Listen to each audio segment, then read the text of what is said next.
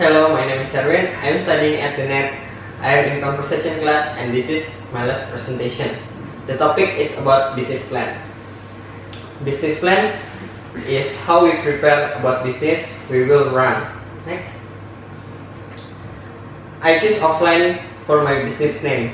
Offline means my customer can have quality time with their friends or family without internet in my restaurant.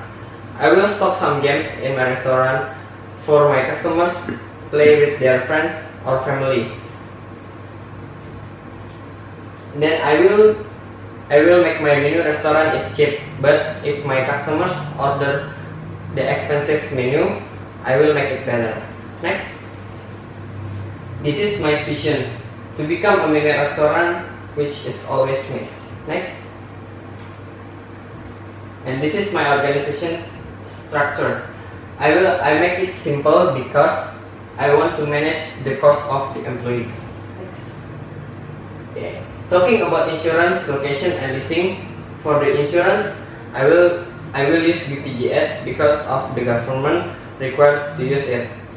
And then for my restaurant location, I want to open my restaurant is easily accessible by motorcycle or a car and not just it and by uh, public transportation. And then for leasing, I plan to use BCA Finance because of the interest is lowest. Next. Okay, the important thing in the cash flow is the internal control and the cash flow planning. Next. Okay, to make a good financing, lowest cost but highest profit and detail in checking proof of payment must I do it in my restaurant to make the good financing. For e-commerce strategy, the first step I will market my restaurant in social media and then after my restaurant grow up, I will make my own website.